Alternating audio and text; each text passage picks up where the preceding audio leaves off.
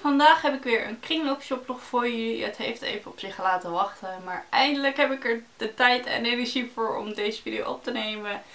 Gelukkig maar, want uh, ja, de spullen zijn een beetje gaan opstapelen en ik moet zakelijk gaan opruimen. Dus uh, ja, laten we snel beginnen. Als eerste ging ik een tijdje terug naar Steenwijk en ik ging samen bij mijn moeder bij mijn oom slapen. En daar was een uh, ja, fancy fair waar we even hebben gekeken. Maar we hebben ook even gekeken bij uh, de oude paardenstallen. Daar zit nu ook een tweedehands winkeltje in.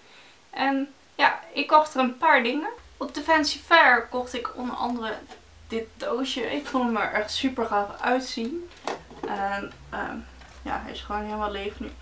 Maar ja, deze was 50 cent. En ja, ik vond het gewoon een gaaf design. En ik wil het gewoon ergens leuk neer kunnen zetten om daar wat kleine spulletjes in te doen. Ik weet nog niet wat, maar uh, nee, komt wel goed. Ook kocht ik daar boeken. En ik weet niet zeker of ik deze er ook heb gekocht of niet. Ik kan hem me niet herinneren. Dat is een beetje stom eigenlijk. Maar uh, Close-up van Esther Verhoef. Ik weet dus niet zeker of ik het daar vandaan heb, maar ik vermoed van wel. 2 plus 1 van Maureen Johnson een bonus track van Robin Benway.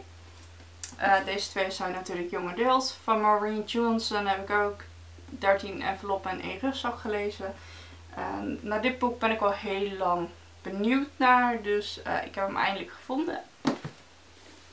En Esther Verhoef, ja, deze close-up had ik ook al een tijdje op mijn want to read list staan. Dus deze heb ik ook gekocht. Ik zag alleen net wel dat er een naam voorin geschreven staat. Dat heb ik daar niet gezien. Maar dat uh, zie ik nu. Ik kan het alleen niet lezen wat. En ik geloof dat de boeken 1 euro per stuk waren. En bij de paardenstallen heb ik een elfenbeeldje gekocht. Deze lag in de bak met uh, uitzoeken voor 50 cent geloof ik. Of uitzoeken voor een euro. Ik weet niet meer zeker. Maar ik zag deze ertussen zitten en ik ben echt dol op elfjes. En ik wil al heel lang een elfenbeeldje. En nu kwam ik hem tweedehands tegen, dus dat is super cool. En ik kocht er Schone Handen van René Appel. Hij is ook verfilmd en ik had zoiets van, ja, voordat ik de verfilming ga zien, wil ik het eerste boek gelezen hebben. En deze was ook een euro, geloof ik. Even kijken. Oh nee, 1,50 staat voorin. Dan ben ik met mijn moeder en zussen naar uh, verschillende kringlopen geweest in uh, Wolvenga. Um, we gingen namelijk ook naar de escape room. Maar ja, we hadden zoiets van, als we alleen de escape room doen, hm, dat is een beetje kort. Dus om er een complete dag van te maken, hebben we ook uh, een bezoekje gebracht aan de kringlopen daar.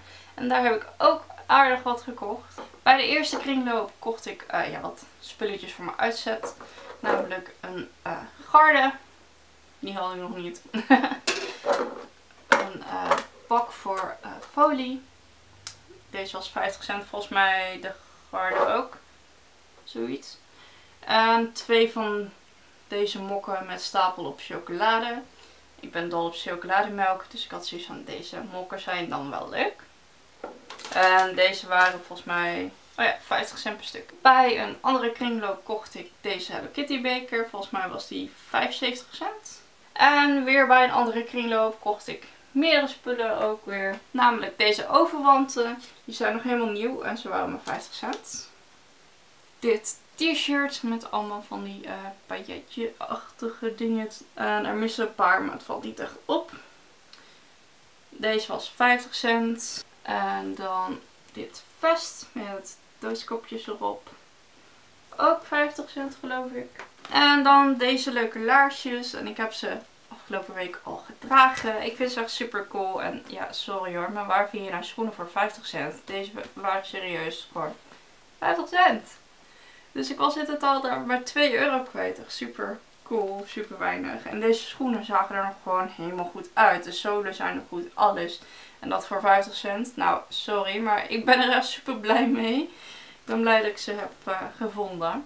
En ik heb ook heel veel complimentjes gekregen op de schoenen. Dus uh, ik ben blij mee. Nieuwe boots. Eindelijk. En dan heb ik ook nog bij de kringloop hier in het dorp een aantal dingen geshopt. Een paar gimpen voor 2,50. En ja, de randen zijn alleen een beetje vies. Maar verder zien ze er nog prima uit. En ja, ik vond dit gewoon zo leuk. In plaats van gewoon een zwarte. Onderzetters voor pannen. Deze waren 25 cent per stuk. Nou ja, natuurlijk heb ik er niet genoeg aan twee, maar dan heb ik de eerste twee maar vast binnen. Een blikopener, en volgens mij was deze ook iets van 50 cent of zo, ik weet het niet meer precies.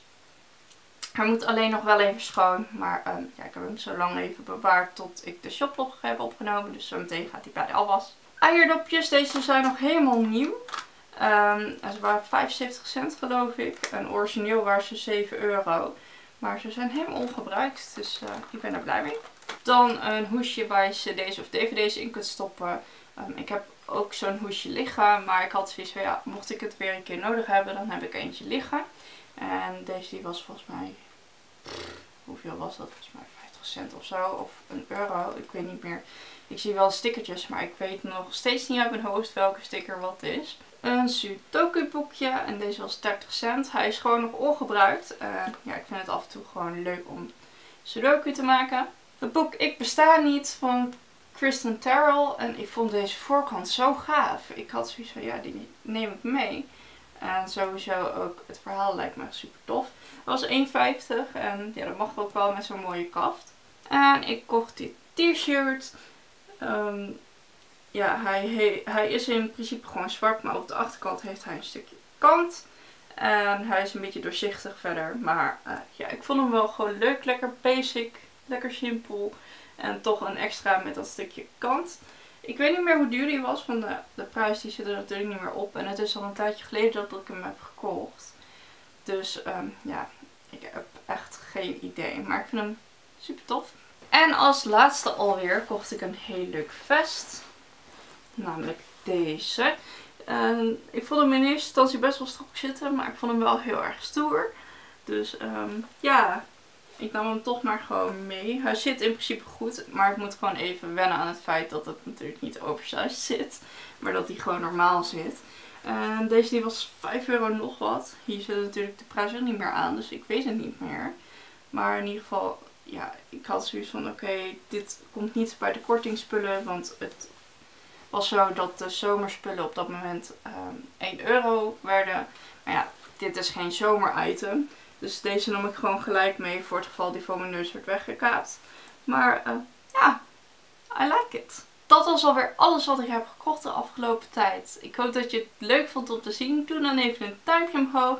Vergeet ook niet te abonneren als je dat nog niet gedaan hebt. En dan zie ik jullie de volgende keer weer. Doei!